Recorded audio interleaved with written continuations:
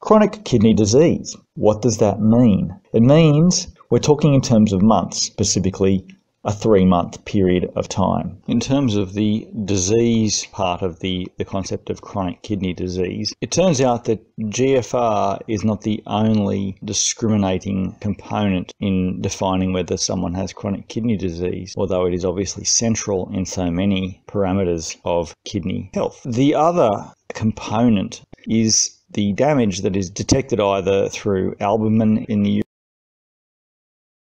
urine, blood in the urine, whether frank or microscopic, or a structural anomaly on imaging, or an abnormal histologic finding on biopsy. Unfortunately, one other component of chronic kidney disease is that it is irreversible. We will refer to the five stages of kidney disease, where stage one is normal, GFR equal to or greater than 90. Stage 2 is uh, GFR between 60 and 89. Now, for stage one and stage two, even if you've got a GFR at either of those levels, greater than 90 or 60 to 89, for three months, you do not have chronic kidney disease unless you have evidence of kidney damage. Stages three to five, though, are where GFR becomes the critical uh, value by which we diagnose a person as having chronic kidney disease. Stages three, four, and five, three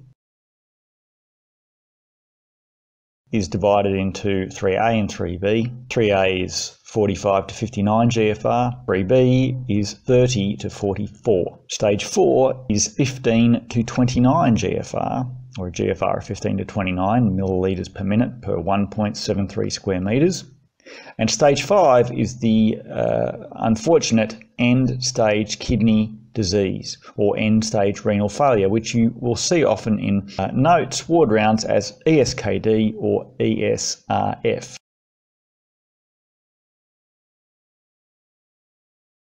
In terms of socioeconomic status, the lowest socioeconomic group has a rate of 14 people per 100,000 uh, developing end stage kidney disease each year between the years of 2012 and 2016. This is averaged out. Whereas the highest socioeconomic group has 9 per 100,000 population, uh, 9 people developing end stage kidney disease. It's a rather shameful figure. Uh, indigenous uh, incidents averaged over 12, 2012 to 2016, roughly 40 Indigenous people per 100,000. And this slide tells us about uh, the financial cost Interestingly, hospital hemodialysis per year is 80,000. And when it says satellite hemodialysis, that's not referring to someone orbiting uh, Earth uh, on dialysis. that would be uh, interesting and probably a lot more expensive. Uh, satellite hemodialysis is for the most stable patients.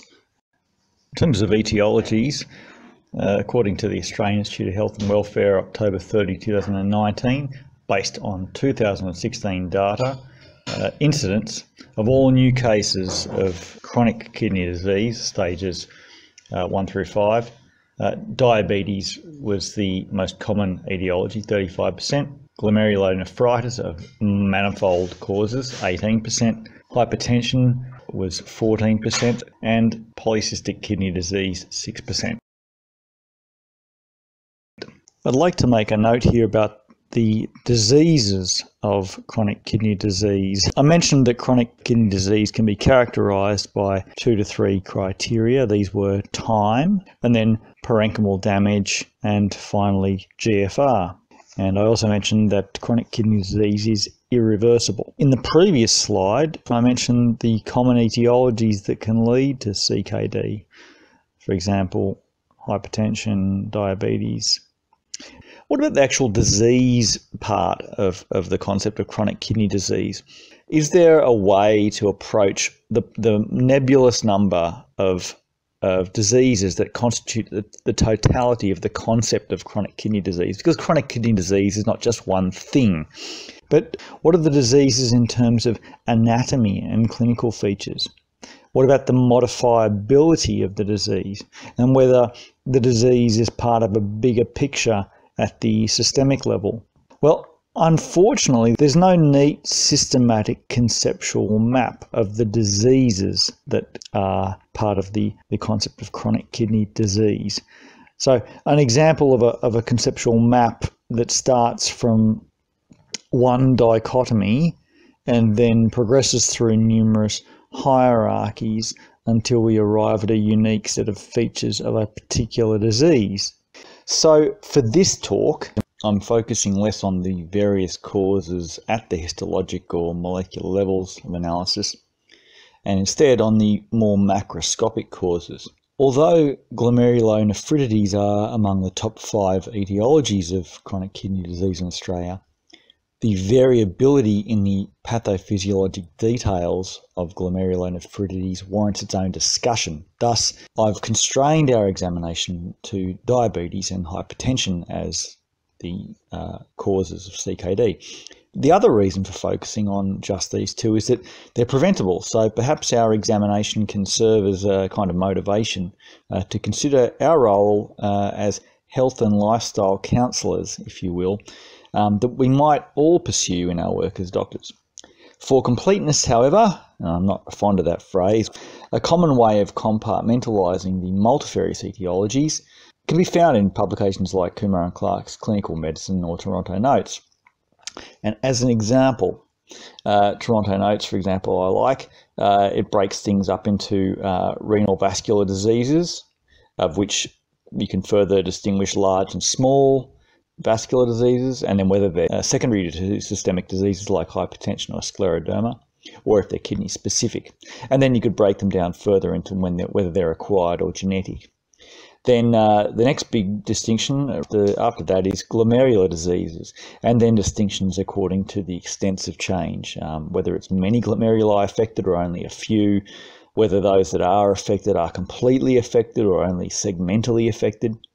Uh, the types of change, whether they're proliferative or membranous or involving crescents, uh, or the clinical presentation, so uh, the well-known nephrotic nephritic spectrum, and then you could also ask whether they're acquired or genetic and so forth. And finally, you've got the tubulointerstitial diseases. This is the third big branch of uh, triumvirate um, that is a common way to break down the details of uh, etiologies. So, um, tubulointerstitial diseases.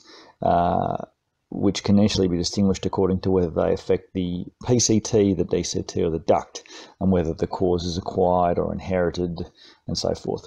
So all textbooks commonly also add on systemic diseases with renal manifestations like scleroderma, for example, or type 2 diabetes.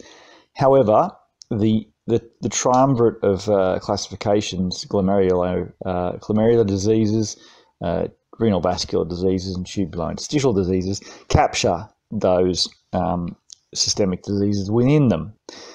Uh, in any case, uh, this digression is just to remind us of the landscape of the discussion about the extensive causes of CKD and how one could carve them up. The patient, in this case, uh, kind of a model patient in the sense that the patient had uh, hypertension, obesity, and was diabetic for many, many years. And this is useful for us in that it gives us one, or in this case, three different uh, pathways by which one can unfortunately develop chronic kidney disease. Now, there are many others. These are the most common in the Western countries and especially in the in the area of Western Sydney. The patient in this case has been sent from the GP uh, after developed paroxysmal nocturnal dyspnea getting up uh, in the middle of the night, not being able to breathe, catch a breath. Number of uh, pillows for her orthopnea had increased from two to three. She noticed decreasing exercise tolerance, although she wasn't a sprinter or a marathon runner, but uh, she was able to walk around the house uh, with a walker, and recently she couldn't even get to the bathroom. Legs had been more puffy than usual. She'd had some worsening leg cramps, she thinks, they were ongoing. Uh, and she'd also had a slight worsening, she thinks, of glove stocking paresthesias, uh, which were due to her diabetes. Important negatives uh, she didn't have confusion, she didn't have dysuria, so she didn't have any particularly foul smelling urine or stinging on micturition. Uh, she was normouric, as she was still passing about one litre a day. The urine wasn't especially frothy, nor was it bloody, and she didn't have bone pain. And these will become more obvious, hopefully, a bit later in the talk. This patient's past medical history is notable for type 2 diabetes, and she was on short acting and long acting insulins. She also had hypertension as well as congestive cardiac failure, and she was on an angiotensin receptor blocker and a hydrochlorothiazide. She was also on a loop diuretic, furosemide, and a cholesterol absorption inhibitor. She was obese and she had obstructive sleep apnea. She'd also relatively recently had a left hallux amputation. Uh, that was because of osteomyelitis, and she was given some peripherally inserted central catheter antibiotics for six weeks, which caused some problems. Baseline bloods, we have uh, HbA1c of 8%, creatinine around the 100s on average. Uh, her GFR was about 53. Sodium and potassium were normal. Uh, hemoglobin was 110, which is a little bit low uh, for a woman. Should be about 115, but uh, mean cell volume was 80 femtoliters, which is normal range. Calcium was low, 1.7. Phosphate was high at 2, and magnesium was low at 0.6. Social history: she doesn't smoke, doesn't drink alcohol, and she hasn't ever used illicit drugs. She's not travelled for more than 10 years, and she has had no sick contacts. So, you order some investigations at the bedside. The bedside urine test comes back with protein, it's no nitrites. Protein, you think to yourself, that's not supposed to be there. The BGL is 14.9. The ECG is normal sinus rhythm, regular pulse. Results of blood tests for the patient uh, came back uh, HbA1c was now 9.6, it was formerly around 8. Creatinine was 350, it was formerly around 100 baseline. GFR was now 9, it was formerly around 53, I think. Uh, sodium and potassium were normal, as they were from the baseline bloods. Uh, hemoglobin was slightly lower at 95 instead of 110. Mean cell volume was still around uh, the 80s. Uh, calcium was lower than before, it was 1.4. Phosphate was 2.1, which was higher, and magnesium was slightly lower at 0.5. Anemia screens at B9, B12 were normal. When it comes to chronic kidney disease and electrolyte disturbances, I just want to quickly mention uh, hyponatremia, hyperkalemia. They're due very briefly and very crudely due to the inability of the uh, nephron to get rid of water and uh, potassium. You can also get a loss of uh, the ability to uh, excrete protons, which we know as acid, which leads to acidosis, acidemia and acidosis, uh, but not in this particular patient. With respect to calcium and phosphate, uh, a kidney damage leads to the inability to uh, hydroxylate calcidiol to calcitriol. Calcitriol is uh, necessary for uh, calcium homeostasis. It increases calcium absorption from the gut and reabsorption from the bones. If you can't produce calcitriol, you don't get enough calcium. However, you, you also lose the ability to excrete phosphate. So phosphate builds up, you get hyperphosphatemia, and because you can't absorb as much calcium, you get hypocalcemia. Uh, the mechanism is more complex than that, but that gives you a, a rough idea. For investigation, one might consider transthoracic echocardiogram. The reason why uh, one would order this is because uh, with poor ability to get rid of fluid, one increases the afterload uh, and the heart therefore has to work harder. So let's say someone comes in with acute pulmonary edema and you're thinking, well, they're overloaded because their kidneys aren't working correct, but perhaps their heart is also giving out because uh, the heart has had to work against a greater afterload. In terms of hypertensive nephropathy, the high blood pressure at the afferent arteriole uh, leads to hyalinosis of the arteriole. And then hyalinosis triggers uh, endothelial hypertrophy, which is arteriosclerosis. Then one also gets tubular atrophy, and interstitial fibrosis. So we've got damage at the tubule, the interstitium, and at the glomerulus. The aforementioned glomerular uh, hyalinosis, so we've got the afferent arteriole being hyalinized, now we've got the glomerulus being hyalinized. They then become sclerosed. There's also damage to the basement membrane and podocytes, and we lose the filter from where we get proteinuria and hematuria. The juxtaglomerular cells detect decreased blood flow because of the uh, endothelial hypertrophy. They trigger the renin-angiotensin aldosterone system, and that in turn constricts the efferent arteriole in an attempt to increase filtration pressure within the glomerulus, which means you get further glomerular damage. Any loss of, of glomeruli is compensated by other glomeruli, and one theory is that this kind of shunting of blood to other glomeruli uh, leads to higher pressure within them, uh, and so you get a kind of reiterative, progressive, uh, sequential damage. Useful exam preparation uh, when it comes to the pathophysiology of type 2 diabetes and chronic kidney disease very broadly is the accumulation of advanced glycation end products, which triggers uh, inflammatory cytokines and chemokines, which then increases deposition of type 4 collagen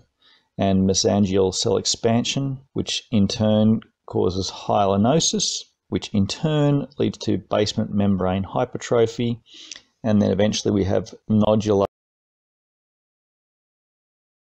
glomerular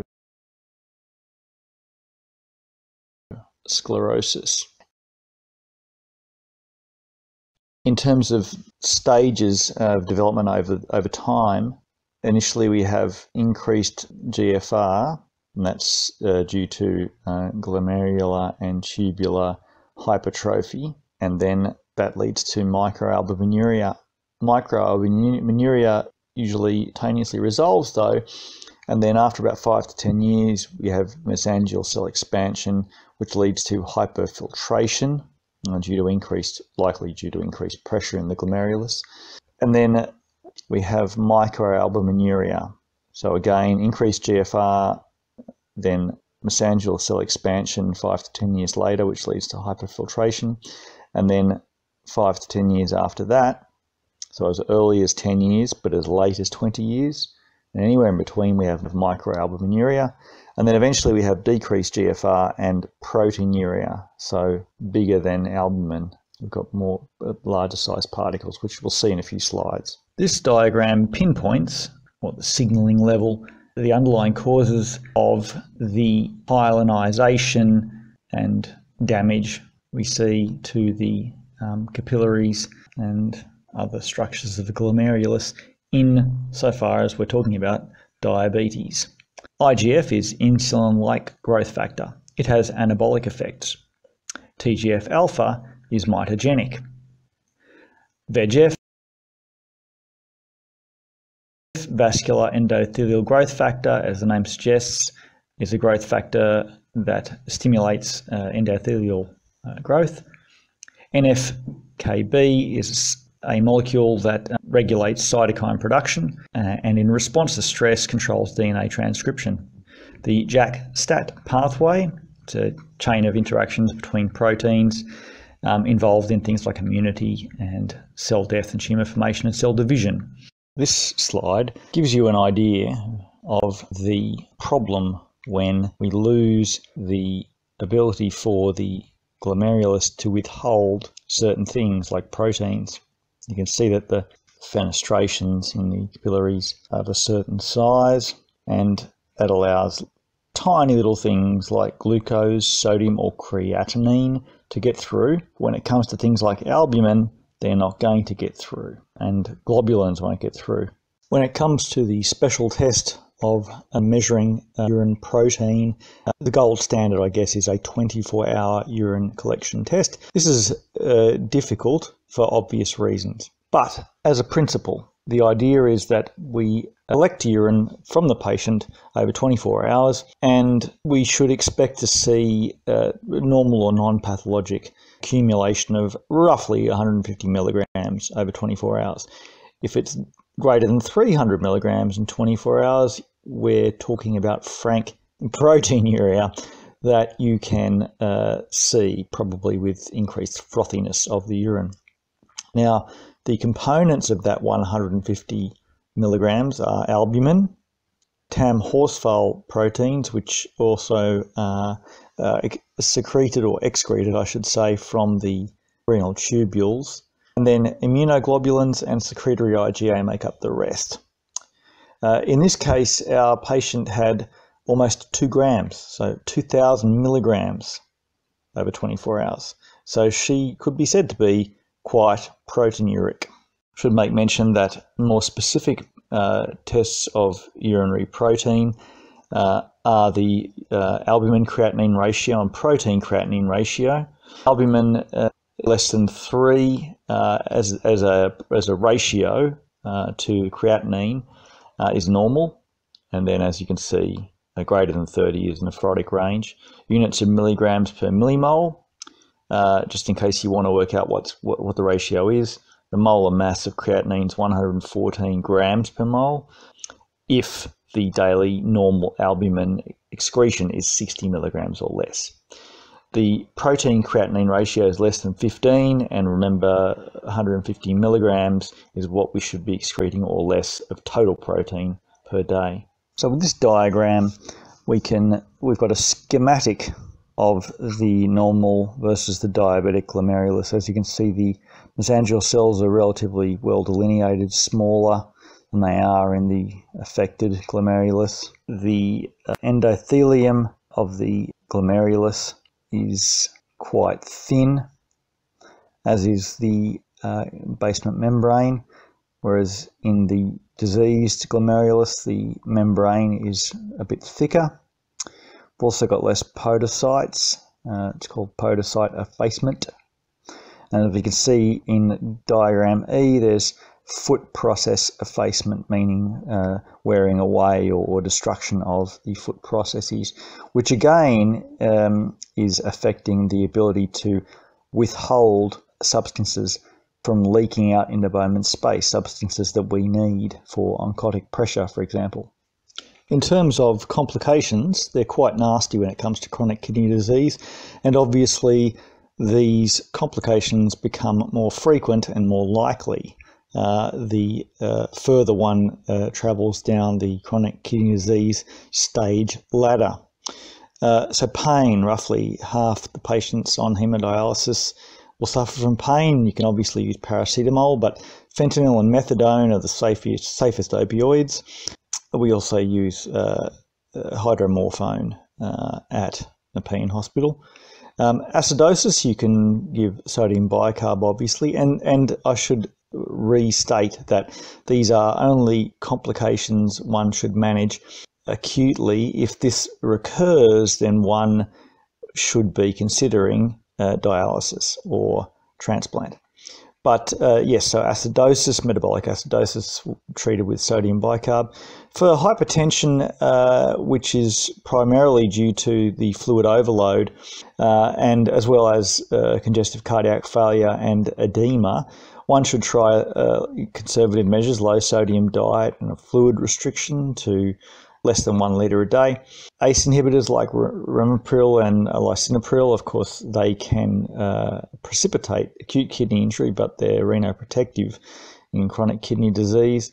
Irbesartan and frusemide, our friend frusemide. Um, nausea, one can only use you know, ondansetron and metoclopramide. Uh, for pruritus, uh, phosphate binders and antihistamines.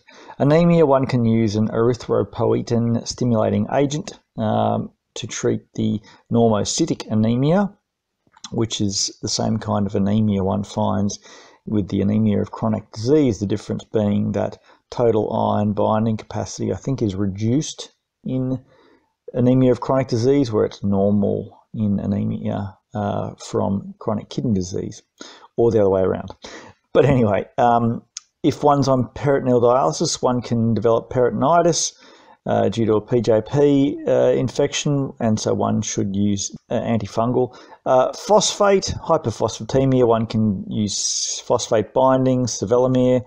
Cinacalcet uh, blocks PTH and makes it more sensitive. Um, and diet restriction, obviously. Bleeding diathesis, so when you have platelet dysfunction due to high um, levels of nitrogenous waste, what the Americans call azotemia. One can use desmopressin, aka DDAVP, for hypocalcemia. One can use calcitriol, which increases gut absorption and bone resorption. And for potassium, uh, low potassium diet and resonium.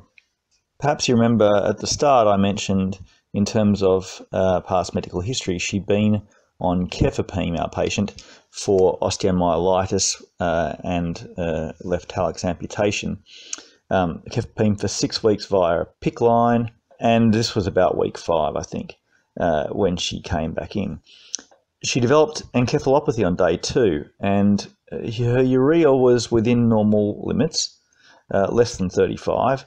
And then we recognised that the cefepime dose was dosed at a time when her creatinine was at 100. Now it was 350, so we ceased it. The principle derived from this uh, episode of cefepime induced encephalopathy is that one must always check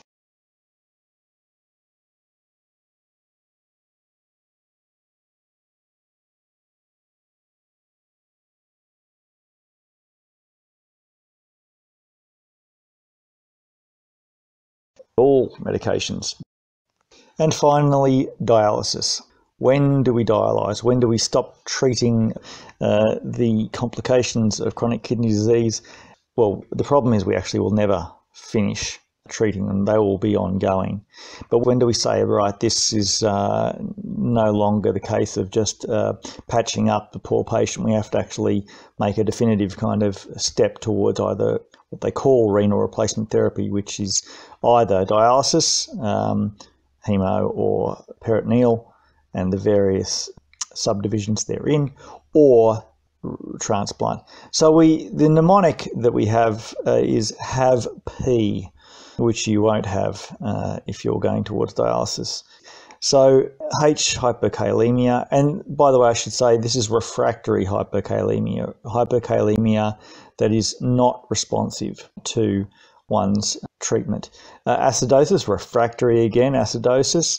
Uh, refractory volume overload, so non-responsive to fruit to uh, diuretics. Um, elevated urea, uh, which is a problem obviously because with uremia comes pericarditis, pleural effusions and, and irritation of the pleura, and uh, and uh, uremic cephalopathy, and pericarditis and encephalopathy. So as I just mentioned, those are the two, uh, the P and the E in P and edema.